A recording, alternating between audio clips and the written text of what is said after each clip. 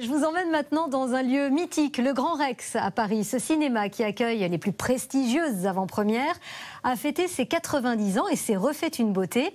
Nous avons pu nous glisser en coulisses à l'heure des préparatifs d'un des événements les plus attendus de l'année, la présentation du film Babylone avec Brad Pitt.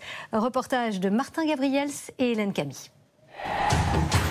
Ce soir-là, le plus grand cinéma du monde accueille l'une des plus grandes stars du 7e art. Brad Pitt, l'enfant chéri qu'Hollywood et le public ne voient pas vieillir, est à Paris. Sur le tapis rouge, c'est tout le glamour du cinéma des années 20 qui brave la pluie pour l'avant-première de Babylone, déjà annoncé comme le film de l'année. Une soirée exceptionnelle au cœur du mythique Grand Rex. Il y a tant à dire sur ce célèbre cinéma art déco. C'était très important pour nous, pour Damien, le réalisateur, de faire ça ici. Parce qu'il y a, à mon sens, aucun autre pays au monde qui comprenne aussi bien le cinéma que la France. Créer l'événement, faire venir les grands noms du cinéma, c'est le défi de la salle parisienne qui a fêté ses 90 ans et qui, comme le plus sexy des quinquagénaires, n'a pas pris une ride. Derrière le bâtiment à l'architecture art déco inauguré en 1932 se cache l'histoire d'une famille de passionnés. À 44 ans, Alexandre Hellman est le troisième du nom à détenir les clés de cette salle mythique qui n'a presque pas changé. Cette salle, tous les décors que vous voyez, ils sont d'origine. C'est classé depuis 1981, mais si vous retrouvez des photos qui datent du 8 décembre 1932, c'est exactement la même salle. Ce qui a changé, ce sont juste les fauteuils. 2702 places précisément à l'orchestre en mezzanine. Le Grand Rex n'a pas son pareil dans le monde.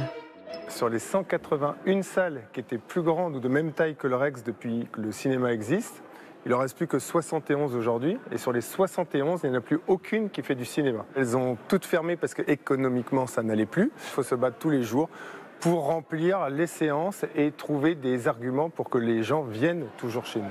En 90 ans, le cinéma parisien aurait pu disparaître plusieurs fois, les grandes salles ne faisant plus recette.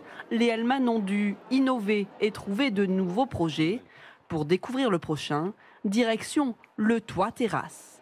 Regardez la, vue sur le Sacré-Cœur, une vue sur à 360 degrés sur les toits de Paris avec euh, ce projet euh, fou peut-être dans l'avenir de faire un, restaurant ici.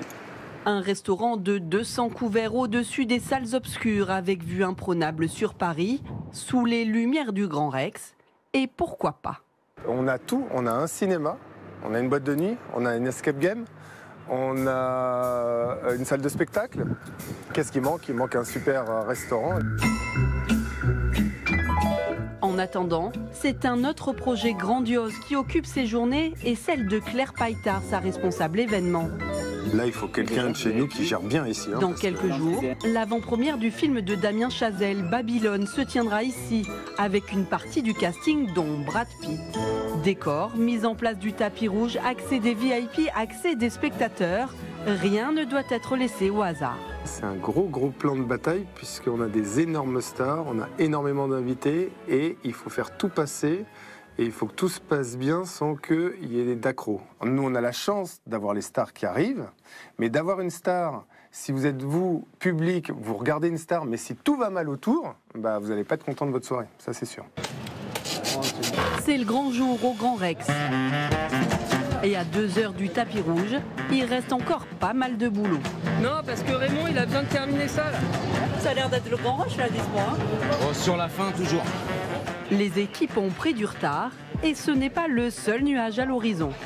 La météo, c'est un peu compliqué, ça, change pas mal de choses quand même parce qu'on a un, tapis rouge qui n'est pas protégé. On a par exemple euh, une actrice qui a une coiffe euh, incroyable qui ne peut pas prendre l'eau et donc on a dû lui faire, faire un petit chemin euh, juste pour elle à, prévoir quand elle arrive sur le tapis rouge. Des ajustements de dernière minute et déjà une autre urgence l'appelle sur la scène. Pendant la soirée, le distributeur du film a prévu de tirer des canons à confetti. Problème, ils ne seront pas tirés sur les acteurs et la scène, mais en direction du public. Et ça, ça change la donne pour Claire. Ça veut juste dire qu'il y aura forcément un renfort euh, ménage. D'accord. Nous, on a d'autres événements, on a une avant-première euh, aussi demain, et donc c'est des choses à prévoir. fin du film. Dernier briefing des équipes sécurité avant l'ouverture des portes. On est vraiment sur les derniers détails, mais, euh, tout est prêt. euh, tant que les équipes sont briefées euh, de sécurité, etc. Ils ont plutôt l'habitude quand même de faire ce, genre d'événement, donc pas de stress. 19h15, celui que tout le monde attend fait son apparition masqué. Des centaines de fans l'ont attendu toute la journée pour un autographe ou une photo mémorable. Malgré la pluie, l'effet Brad Pitt est assuré. À son entrée dans le Grand Rex, c'est un peu la cohue, mais c'est sans encombre qu'il retrouve son réalisateur et le reste du casting, passé un peu, il faut le reconnaître, au second plan. Un mois de préparation en coulisses pour ces quelques minutes sur scène. Quelle joie de présenter ce film ici, dans le plus grand cinéma du monde. Une soirée étincelante, sans faux pas, pour les équipes du Grand Rex, qui se veut le temple français du cinéma.